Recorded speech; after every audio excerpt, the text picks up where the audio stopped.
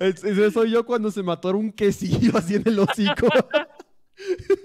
Bueno, pero es que el quesillo luego sí se atora de que está bien largo. Ajá, güey. Yo, yo tuve miedo de morir varias veces de tragar un pinche eh, queso Oaxaca, amigos, para los que no tengan cultura. queso Oaxaca, así se atora.